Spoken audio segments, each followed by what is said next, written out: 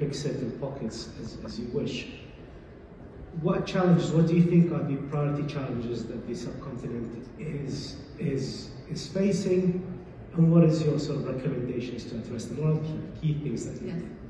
And I think that goes um, directly to what Christian said access to finance, especially for SMEs, small and medium sized enterprises across the continent.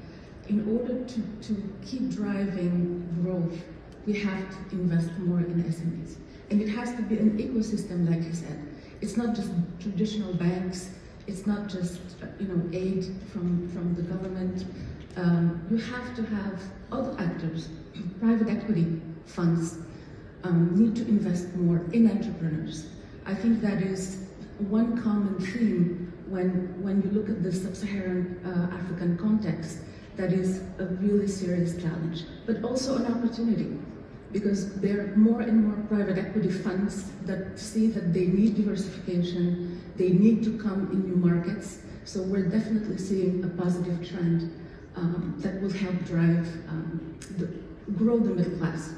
And are there particular bright spots, either in countries or certain sectors that you've observed? I'm sorry? Are there any bright spots, either in particular countries or sectors where you can see SMEs are growing and are addressing the challenges? Yeah. Can you just give examples? Some of the sectors um, that's very